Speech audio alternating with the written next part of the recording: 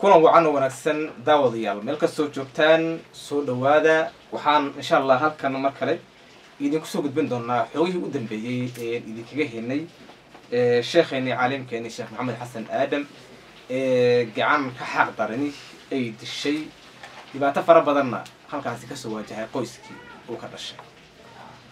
Waxaan xalay idiin soo gudbinaynay la socoteen.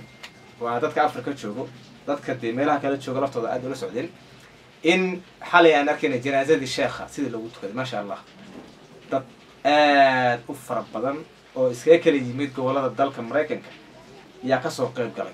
Culimaa uddiin shacab muxuu ahaa madax.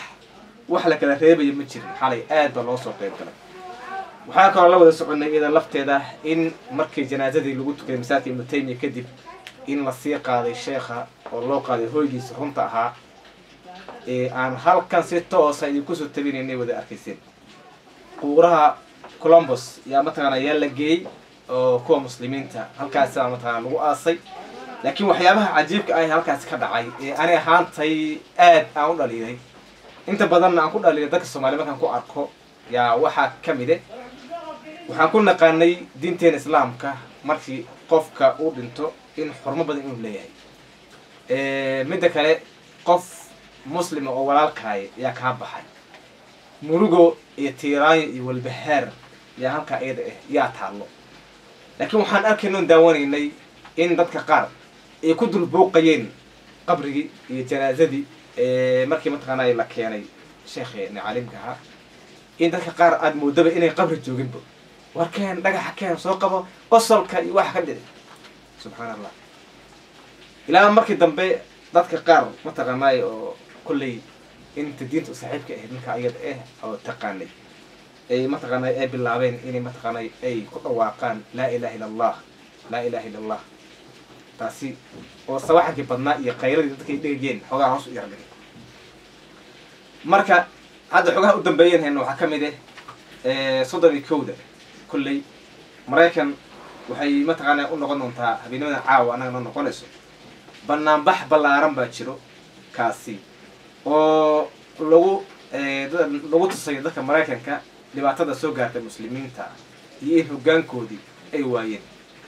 Banaanbaxaasi warqaddan hadda arkaysaan yaa mataqaanaa muujinayso labada duhurnimo ayuu bilaabanayaa. Banaanbaxaasi waxaa la rabaa in si wada jir ah looga qayb qaato. Waa dadka reer colombos inay mataqaanka iyada inay tagaan. Iyo weliba dadkii martida ahaa ee muxuuha oga yimid gobollada dalka inay ka qayb qaataan. Waxaa la yidhi waxaa la samayn doonaa iskuba isku soo baxaasi in intii la dhaqaaqo la socdo la taga dowladda hoose halkaasina ay booliska warbixintii u dambeysay ay hayeen inay ku soo gudbiyaan baa la rabaa oo duqa magaalada oo halkaa ayada markaana kula hadla shacabka loona sheego in baaritaanka la dedejiyo in baaritaanka uu sii dheeraanin sii soconin baa mataqaana ayaa loogu talagalay. Marka banaanbaxaasi waa in si mug leh looga qayb qaato oo halkaa iyada ah aan loo kala harin. Kolley hadda sheekhi waa naga baxay janaasadii ku tukanay xabaashiisii saxda ahaa ayuu tegay hadda maxaa soo haray marka? Waxaa soo haray gacan ku-dhiglihii gacanta ka gacanta xaqa daran lahaa ee dhibaatadaasi aadka u xooga badan geystay in gacanta lagu soo dhigo cadaaladdan la marsiiyo.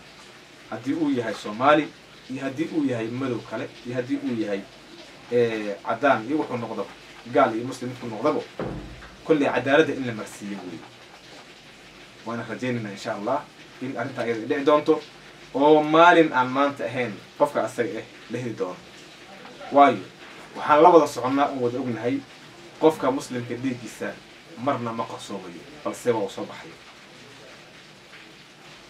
waxyaabaha kaloon idiin hayo waxaa ka mid ah dhacda iyada lafteeda maraykanka ka dhacday nin taraagle ah oo maalmahanba iyada lafteeda baraha bulshada ku jirtay. Oo ninkaasi taraag buu waday laakiin steerinkii baa u go'ay bareegii kadib wuu qaban waayey.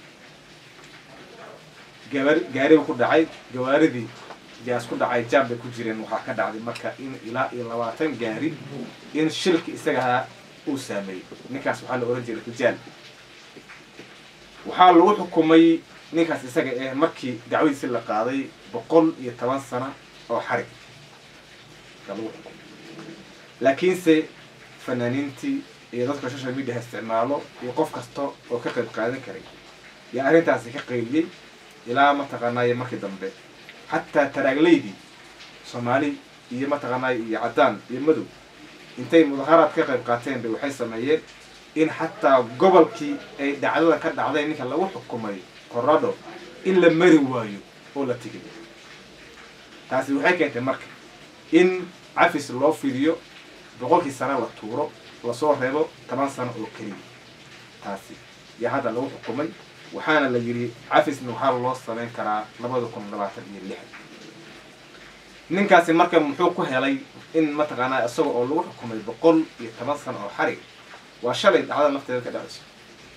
Muxuu ku helay wuxuu ku helay isku duubni iyo shacabkii oo kacay iyo in nin kasta meeshuu joogay inuu ka qayliyey kii mudaharaadi karay iyo kii hadli karayba in mataqaanaa qayb qaatay hadda inagu haddii dhacdadan iyada ah ee foosha xun ee loo geystay imaamkeeni haddaan ka gelgelino ka hadalno oon ka qaylino waxaa dhabaweyso oo suurtagal ah in arrintaa iyada ah si deg dega inay dowladda u geli doonto.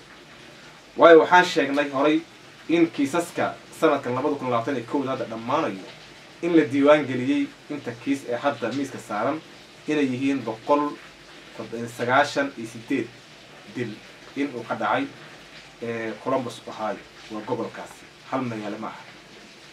Inuu ka dhacay oo intoodana kulli ay yihiin mataqaanaaye investigationkooda in weli inuu socdo oo dhammaanay marka la mid ma noqon doono kuwa iyaga ah saan rajaynayno dadkeenna waxaan dalbanaynaa in sheekheenna cadaalad helo. Innaga waxaa naga dilay qof iska shacaba ma ahana waa hogaamiye mana doonayno in dhacdadan iyo tul la midi inay mar kala dhacdo ayna sii socoto. Taasi waxay sababtay marka in inaguna mar walbo aan ka hadalno aana sheegno dhibaatada ay nagu hayso iyo walbahaarka iyo muxuaha iyo calolxumada arrintaa iyada ah kolley ehelkii iyo qaraabadii uu ka geeriyoodayna samar iimaan ilaaha ka siiyo waayo dhibaato weyn ba iyaga laftooda dhaqanayo la kulmeen. Wax ay filayeenna ma ahayn laakiin wax ilaahay u qoray ayuu ahaa dhacdan iyada ah inay dhacdo. Waxaan rajaynayaa inaan si wada jir ah ugu ducayn doono ducadiina aan u wadi doono maadaama hadda uu u hoyday hoygiisi rasmiga ahaa uuna yahay nin shahiide oo gacan ka xaaq darani ay dishay. Daawadayaal waxaan fili in muuqaalkan aad ka heshay aadna sii sheerkaran doonto xogta u dambeysay intaasi ayay inoga dhan tahay waad mahadsantihin